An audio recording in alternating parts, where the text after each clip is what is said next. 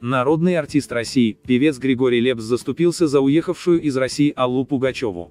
В интервью газете «Аргументы и факты» он заявил, что не осуждает ее решение улететь в Израиль. «Я никого не осуждаю. Тем более Аллу Борисовну. Она может даже прошептать песню, и это дойдет до сердец. Пугачева уехала за мужем.